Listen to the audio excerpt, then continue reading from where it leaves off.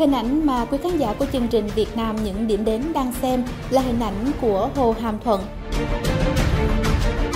Hồ Hàm Thuận thuộc xã Đa Mi, huyện Hàm Thuận Bắc, tỉnh Bình Thuận. Thuộc hệ thống Hồ Hàm Thuận Đa Mi, bắt nguồn từ sông La Ngà, một nhánh của hệ thống sông Đồng Nai.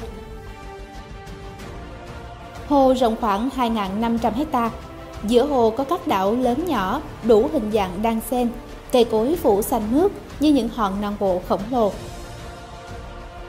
Hồ Hàm Thuận nằm ở khoảng giữa thành phố Bảo Lộc và Phan Thiết, cách thành phố Bảo Lộc khoảng 50 km, cách thành phố Phan Thiết khoảng 95 km.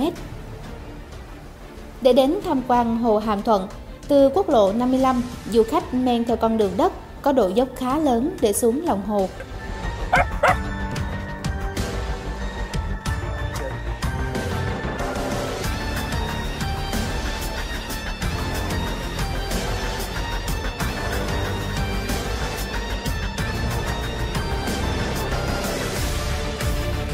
Chúng tôi đến tham quan vào đầu tháng 6 dương lịch. Đây là thời điểm mực nước trong lòng hồ thấp nhất trong năm. Khoảng đất màu trắng từ mặt nước đến khoảng cây xanh chính là mực nước dâng cao khi mưa xuống. Vào thời điểm mực nước cao nhất, nước trong lòng hồ có thể dâng lên cao hơn 10 mét so với mực nước hiện tại. Với cái nhìn dưới mặt đất, khi vừa đến lòng hồ, du khách sẽ không tránh khỏi một chút thất vọng về cảnh quan và lượng nước. Nhưng khi thuyền xuất phát khoảng 10 phút du khách mới thấy sự bao la rộng lớn của lòng hồ 2.500 hecta.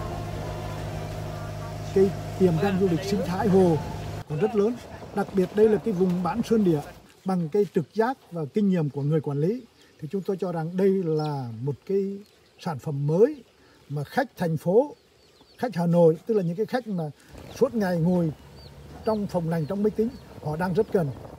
Nô hoàn Thuận vấn đề như một cô gái quê chưa biết trang điểm gì cả cho nên là trang điểm thế nào cho nó đẹp cho nó dễ thương và đừng cho ta biết mình trang điểm là Hồ Hàm Thuận vẫn đang là sản phẩm thô, chưa được khai thác nhiều. Du khách đến tham quan thưởng ngoạn là nhờ bạn bè ở địa phương giới thiệu.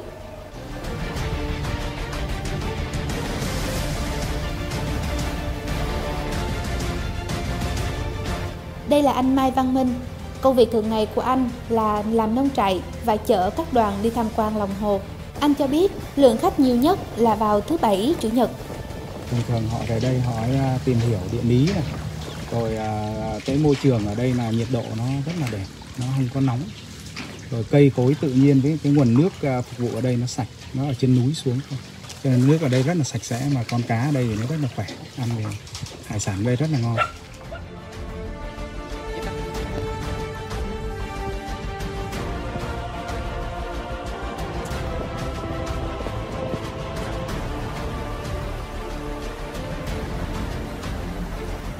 Nơi đây thuộc vùng khí hậu bán sơn địa tương đối mát mẻ. Buổi tối se lạnh rất lý tưởng để phát triển du lịch bền vững, thân thiện với môi trường. Ở đây có thể câu cá, ở đây có thể có những cái nhà mát, những cái nhà thoáng đãng mình lên để mình gọi là mình mình thiền, mình tập yoga hoặc là mình an nhiên đúng nghĩa tức là thoát khỏi cái những cái cái cái xô bồ. Tôi chỉ sợ là nếu quy hoạch không tốt thì người ta xây bắt nhão xô bồ nó sẽ phá vỡ cảnh quan và người ta người ta chán. Đặc biệt là vệ sinh môi trường và vệ sinh nước thải mình phải đảm bảo. Phải giữ từng cái cái cái cái cái cành cây ngọn cỏ ở đây và làm sao để chúng ta thấy rằng là môi trường ở đây thân thiện. Thì cái đó là bài toán quản lý của của huyện. Cho còn về tiềm năng thì ở đây quá lý tưởng.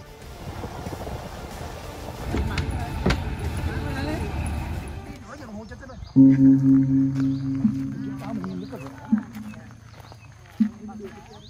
Một trong những địa điểm lý tưởng để quan sát toàn cảnh Hồ Hàm Thuận chính là chùa Quan Âm.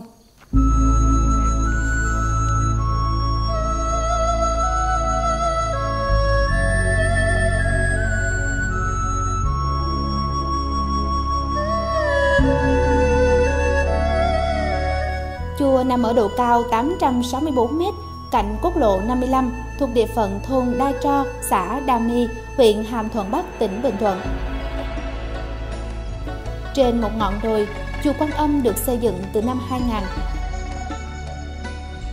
Chính điện chừng hơn 200 mét vuông, nhưng bao bọc ngôi chùa là khu vườn rộng tới 7,3 hecta. với nhiều loại cây ăn trái, rau củ, hoa, cây kiển.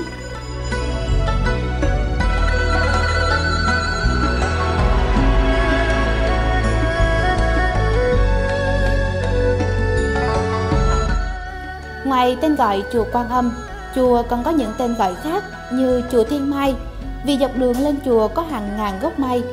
Con người gọi là chùa Bưởi vì chùa luôn ngắt hương vào mùa bưởi. Chùa còn có tên gọi là chùa Tiên bởi phong cảnh tuyệt trần, thoát tục, nhất là khung cảnh vào sáng sớm dưới cái sợi lạnh của vùng đất bán sơn địa. Du khách nhẹ tay nâng chén trà và đón nhận những tia sáng đầu tiên khởi xuất từ lòng hồ Hàm Thuận. 많이 뵙네 오 많이 뵙네 오